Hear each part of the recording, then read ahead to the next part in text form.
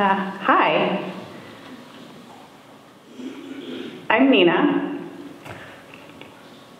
Uh, I'm a researcher in cognitive neuroscience. And this is also me, an improviser.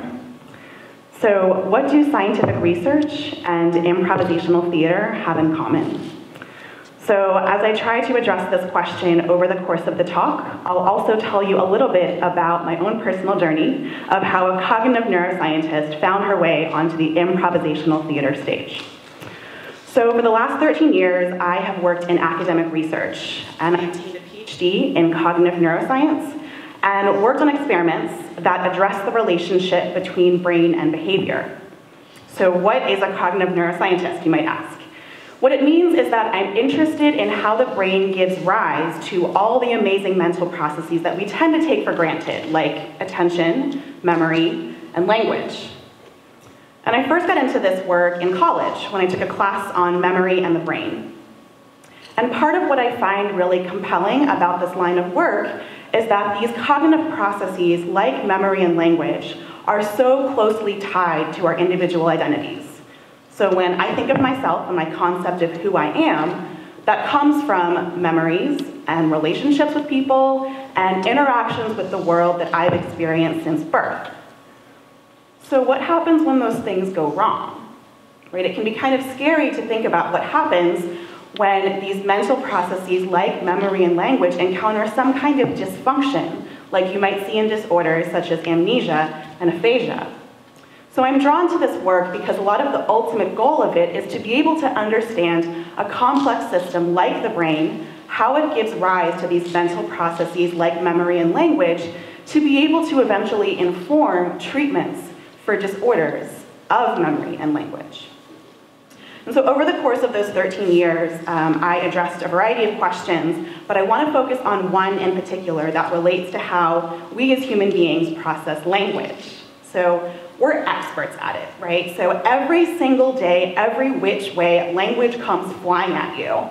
You are getting text messages on your phone, you're listening to the radio, there are newspaper headlines flying at you, you are listening to speech, you're producing it, you might be writing emails, you might be reading emails, and despite this huge influx and outflux of information, seemingly automatically, you can process all of it instantly. And that's kind of surprising because language is incredibly complex in its sound and structure and meaning. And every once in a while, that complexity comes through, and as we're trying to process all of this so automatically, we kind of just boggle for a moment. And so newspaper headlines are a great example of that. Princess Diana dresses to be auctioned. Okay, wait a second, right? Who's on the auction block? Is it Princess Diana or her dresses? Sound transit train hits teenage girl, survives. Man shot, killed in Miami for third consecutive night. Passengers hit by canceled trains. And this one's my favorite. Students cook and serve grandparents.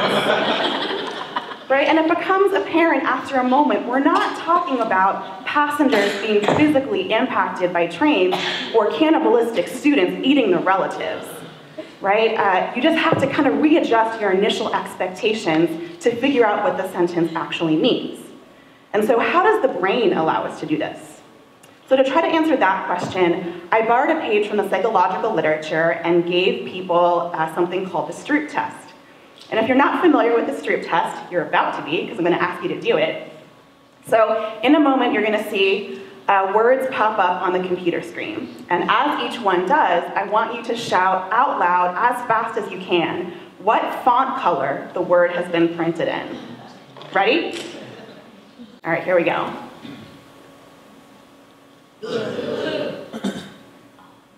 Red.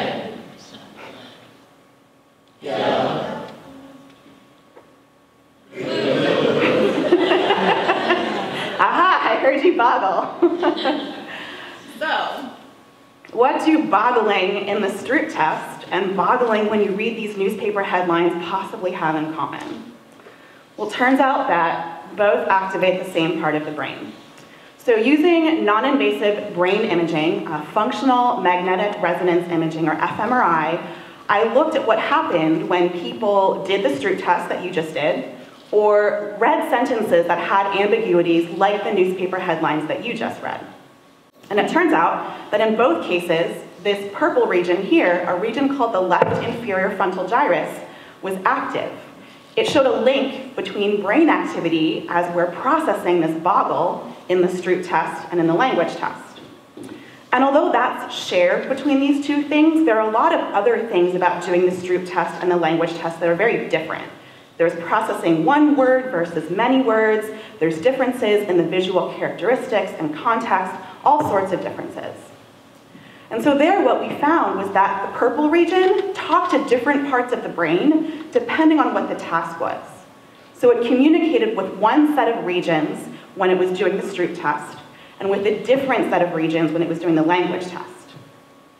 And so what this told me, what I discovered, was that these seemingly different cognitive processes actually shared brain architecture and communicated throughout the brain in distinct ways that were tailored depending on what cognitive process was happening in real time. So this is pretty cool, and I'd love to tell you that this discovery was simple and straightforward and linear, but as you've already heard tonight, scientific research is anything but that. Here's how you might expect science to go. You make an observation about the world, and that leads you to test a question, pose a question about what you think might be true. You then have a hypothesis that makes some prediction about maybe two variables that you think are going to be interesting and related to that observation. You collect data to test that hypothesis, analyze the results, and in an ideal world, draw a conclusion that links back to the initial hypothesis that you set out with. But scientific research requires a lot of patience, it's full of failure, and importantly, you want to be open to opportunities for discovery and surprise. Because scientific research is incredibly nonlinear and it's just not that simple. Along the way, there's all sorts of noise you have to figure out. You might have to entertain different alternative hypotheses in addition to the one that you're testing. You could be encountering confounding variables during data collection that interfere with the two variables that you really care about. And I won't even get started on the peer review process of getting your paper published. But despite the fact that scientific research is difficult and full of failures, it's also incredibly rewarding. Because when you actually make that discovery between two variables and show that meaningful relationship, you've discovered something that nobody else has discovered before. You have created knowledge. You have found this meaningful, novel relationship between two things of interest and done it in a way that nobody has done before, or taken an approach that nobody has taken before. So that makes you an expert in the topic, which is pretty amazing. So being open to opportunities for discovery, I'll argue, is something that benefits you tremendously in scientific research. But I think it's also true in life. So I'm going to give you another example of that with me. So for a long time, I thought I had a plan in life. It was going to be high school, heading down south for college at Duke University, back up north for grad school in Philadelphia, onto a postdoctoral fellowship at the University of Maryland, and along the way, I never took any breaks. I was always planning the next step when I was in the current one, because all of it was meant to culminate with obtaining a tenure track job at an academic institution. That was the plan. But then in 2013, there were budget cuts, and the money ran out. And suddenly, I didn't know what came next, because I was told that the government contract that was funding my postdoc was going to run out in six months, and I was responsible for finding my next position. And I had no idea what came next. And I knew that I didn't like that feeling of uncertainty, really didn't like it. So as it turns out, as things tend to, things were fine. I obtained a fellowship to work at the National Institutes of Health. That's where I am now as a health science policy analyst. Uh, I support scientific research at the National Institute for Neurological Disorders and Stroke. And along the way, Something else pretty amazing happened too, which is that I wound up attending an improv show at the Washington Improv Theater. That's the plan that didn't happen, and that's what, what I found improv. Um, so what is improv? Um, so improvisational theater, you might think of the show Whose Line Is It Anyway? Um, or you might think of people like Amy Poehler, Steve Carell, Tina Fey, who are all Hollywood celebrities who got their starts in improv. So improvisational theater, or improv for short, is a form of live theater in which the plot, characters, and dialogue are all made up on the spot in the moment. Nothing has been scripted or planned in advance. Oftentimes the performers will get a suggestion from the audience to get the show started, or they might draw on some source of inspiration, um, like a, a line from a poem, or a movie quote, or a story from the audience. I'm gonna show you a quick example.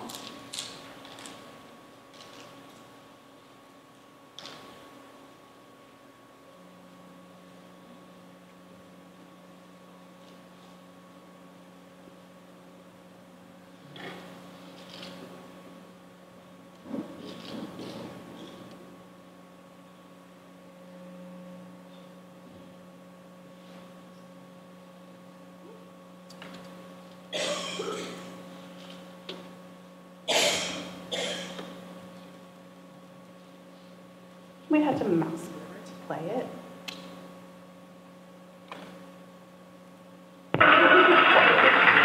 All right, so two people are going to enter the stage, and one of them picks up a stool. So is it a stool that he's carrying? Is it a car? It's not really clear. Okay, two more people are coming up. Okay, it's definitely not a car because he just got lifted up. And then suddenly someone comes out and says, Wilbur Wright, you get down here this instant. So at the beginning of the scene, all that started was that two people walked out and one of them grabbed a stool. And suddenly we've gotten to Wilbur Wright, you get down here this instant. I won't show you the rest of the scene, but what happens is it goes on to show the family dynamics of the Wright brothers, Orville and Wilbur, because the stool just became a plane, and they're navigating the development of airplane technology in a neighborhood that looks down upon it and wants horses forever. So, so how does this get, how do we get there, right? This art form literally embraces not knowing what comes next or at all. So here's how you think improv might happen, right? There's an idea, everybody comes together and does the idea, and the outcome is gonna be laughter. But that's not how it works, right? As you may know, the mantra for improv is yes and. And what that means is that you immediately agree to an idea and you support it no matter what. So if you offer the idea, there's confidence that you'll be supported. If your partner offers the idea, then you agree to it immediately and support it no matter what. That's the yes. And then the two of you, collaboratively, one step at a time, will build whatever comes next. You build it together. That's the and, and you follow wherever that path is gonna take you, no matter what. So I said yes to my first improv class. And honestly, the rest is history. Um, I'm not gonna lie to you, the first time that I took the stage in front of real, actual, live, in the flesh human beings uh, was probably one of the most terrifying experiences of my life because as I told you, I was physiologically averse to uncertainty. But since then, because I said yes to that opportunity and allowed for discovery, it opened up this whole world of possibilities. And so what I discovered there is that improv doesn't just have to be funny, right? You can have a dramatic improvised murder mystery show where you create this world of tightly woven characters, but there's a murderer amongst them. And it's up to them to figure it out, and the audience tries to guess their identity at the end of the show. Or you travel to New York with your friends, your improv team. You perform in a 72-hour improv festival called the Del Close Marathon that celebrates the art form of improv. Or you take the stage with a sisterhood of strong women to tell hilarious and heartbreaking and heartfelt improvised monologue stories about what it means to be a woman and the feminine experience and relationships with other women as well as with herself. Or you win a March Madness-like improv tournament where your team creates on-the-fly couples on a double date and explores all the di dysfunctional dynamics therein. None of these would have happened if I didn't say yes to the first opportunity for an improv class.